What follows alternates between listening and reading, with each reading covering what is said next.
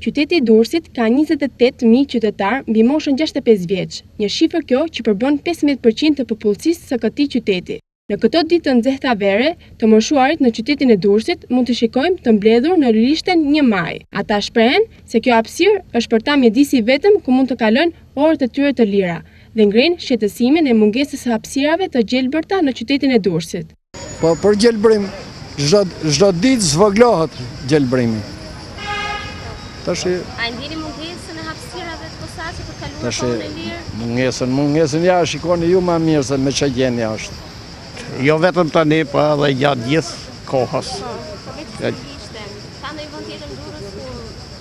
Moshuarit ku kalojnë kohën e tyre.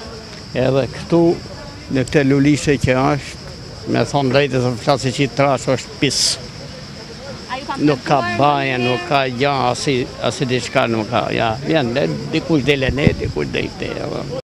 Kushtet duken qartë se nuk janë të përshtatshme duke filluar nga plehrat e grumbulluara dhe stolat e prishur. Gjatë bashkëbisedimit me këta qytetarë, ata ngrenë dhe një shqetësim tjetër të rëndësishëm për ta, siç është dhe ai i mungesës së banjove publike.